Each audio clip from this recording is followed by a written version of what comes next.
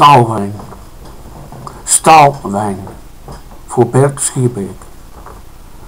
Natuurlijk was hij een dichter van groot formaat, al liep hij er niet mee te koop. Wat hem zeker extra sierde. Hij deed alsof hij een boer was, die schreef met koeienstront en paardenmest. Maar achter dat ruwe masker verschool zich een ware engel met een scherpe zwanenveer. Er zijn maar weinigen die het mystieke geheim van de zelfliefde hebben ontraadseld. Inderdaad, hij was een van hen. Met volle stem. Waakhond en postduif van een kop romp staat in pasgeverfde staat. Niet aanraken, want hij is tijdens zijn dromende droogtijd met cobra-beten te chargeren. Renovatie, continu. Een vervormend weekdier binnenin zijn schelp van diamant.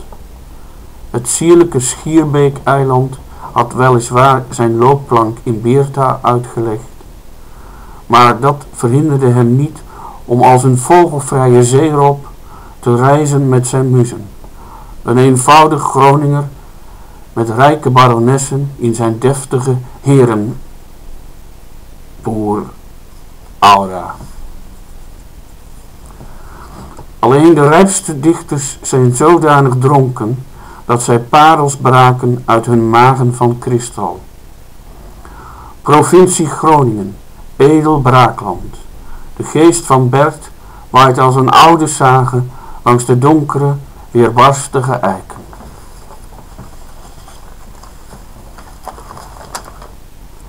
Bij een recent portret voor Cees Notenboom. Het is die intense blik, die mengeling van helderheid en argwaan, dat eenzame turen in de verte, zingend hoofd als een ballon in het nachtelijk azuur. De reusachtige bergkristal schiet als de eenhoornpijl dwars door je hoofd naar voren. Achter zijn kleermakersgelaat, zijn milde schoolmeestersschedel, de rijke bronnen van schittering en lavenis. De zwoegende stoker in de volle buik van het kloeke schip. Uit zijn oren vliegen de goochelvogels en uit zijn ridderhelmneus bloeiende zeeanemonen.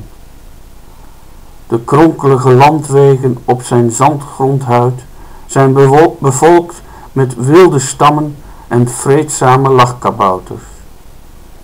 Het ene oog helder als van een sperwer in de aanvalsvlucht, het andere oog half geloken, dof als van een schuchtere vis in troebel water, jaren verstopt in een geheime onderzeegrot.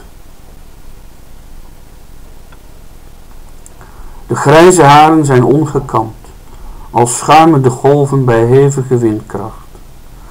De donkere sloepen boven zijn melancholische kijkers pronken als stoere booreilanden in het oceanisch geweld.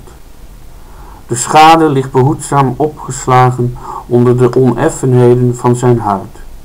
Een beheerst mijnenveld, waar hij terecht geen onbekenden duldt. De onaantastbare wijsheid ligt als een ondoordringbaar panzer rond zijn hoogst gecompliceerde uitkijktoren. Confucius zit bovenin. De vele lijnen vallen samen in de wereldwijd geopende chakra boven de glijbaanneus met aan weerskanten bollende cherubijnenvleugels. De scheepszeilen van ontzagwekkende vikingen. Zijn verstilde mond is een badende vogelvis onder de magische driehoek van de hemelse zegeningen.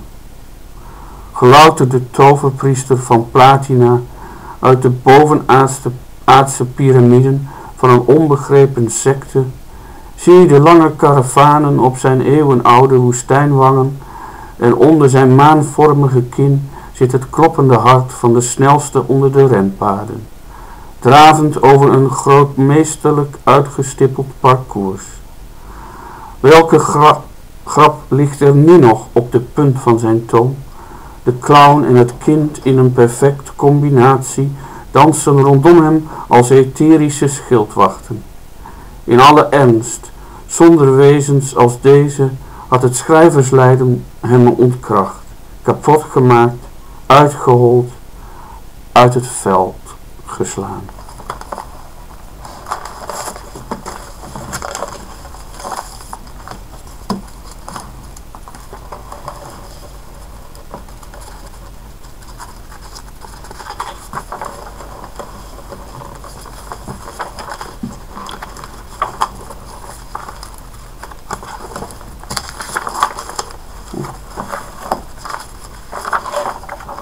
De tijd opgeheven.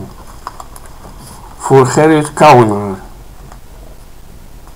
De koekoeksklok blijft dicht. Er is werkelijk niemand die de besneeuwde harten wil verwarmen.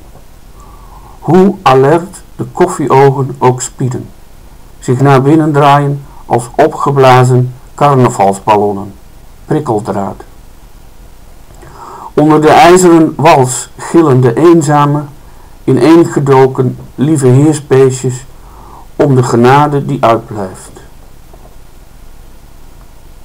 En er zijn graankorrels die met handen en voeten het overgewicht van de destructie uitschakelen.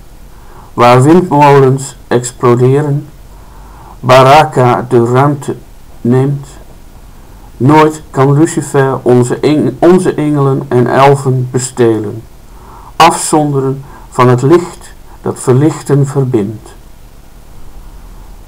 Koekoek, koekoek, koekoek.